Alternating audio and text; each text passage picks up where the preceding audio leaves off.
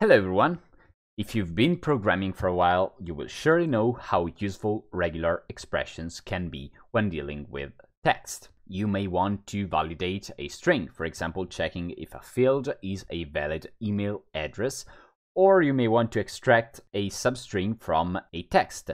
In either case, uh, creating the perfect regex can take many attempts. In this video I'm going to introduce you to an incredibly valuable tool called Regex 101 which makes working with regexes a breeze. Alright, so the first example we're going to talk about uh, is the basic functionality. We want to create, uh, as an example, a regex to validate email addresses. And this is only a toy example because creating a regex for email addresses is another problem that it may seem. And if you want more information, I'll leave you a link in the video description. So we start with a five line example. Okay, so here we have five possible inputs for a field and we want to check which ones of these uh, are valid or not. So our first attempt is to use uh, this regex, which I'm going to paste right here.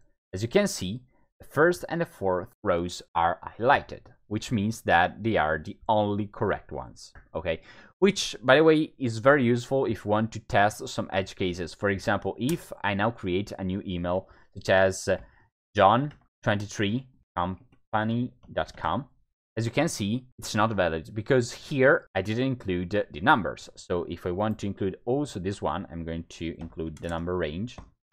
And as you can see now, also this one is valid, which makes really debugging regexes a breeze. Another very common use case for regexes is extracting substrings from formatted text. So as an example, I'm going to paste this three-line CSV formatted text. Okay, in each row, as you can see, we have the name of a fictional character. If we now use this regex right here, we will be able to get the first name of each character.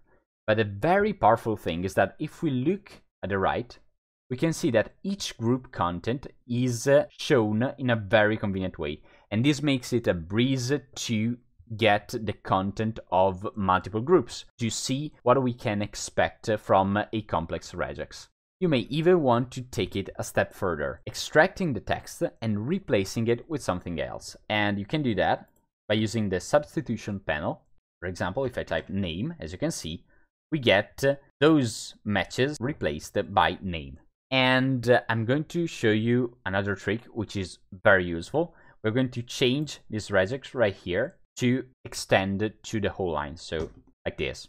If we now type in the substitution hello followed by backslash one, you will see that we injected the extracted group in each line which trust me can really save a lot of time in some tasks. By the way, a lot of other advanced text editors such as Sublime Text offer this functionality. Finally, the last uh, thing I want to talk about is the code generator.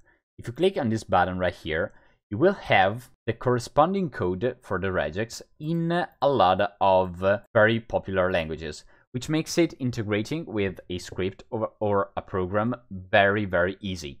Alright, so that was all for this video. If you liked it, please consider subscribing to the channel because I'll post lots of other interesting tips and tools. And uh, I hope to see you in the next video.